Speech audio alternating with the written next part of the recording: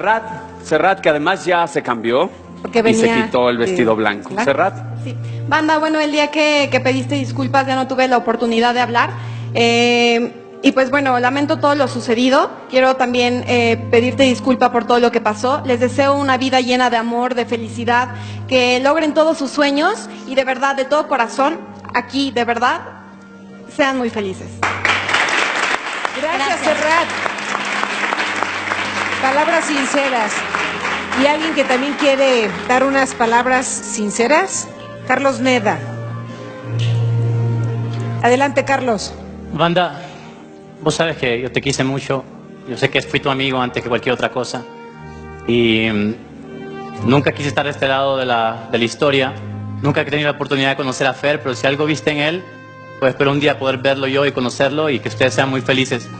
Porque eso es lo más importante para el final, que todos encontremos la felicidad.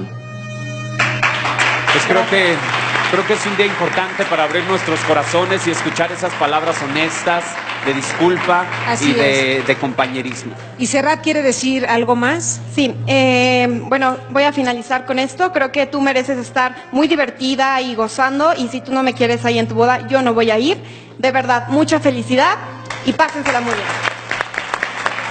Y lo mismo, Lo mismo. ¿opinas lo mismo que Serrat?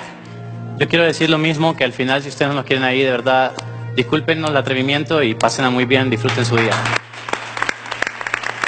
Y ahora sí, después de ofrecer estas disculpas, este baile es para ustedes. Y es la canción con la cual ustedes se han enamorado en este programa. Pasen por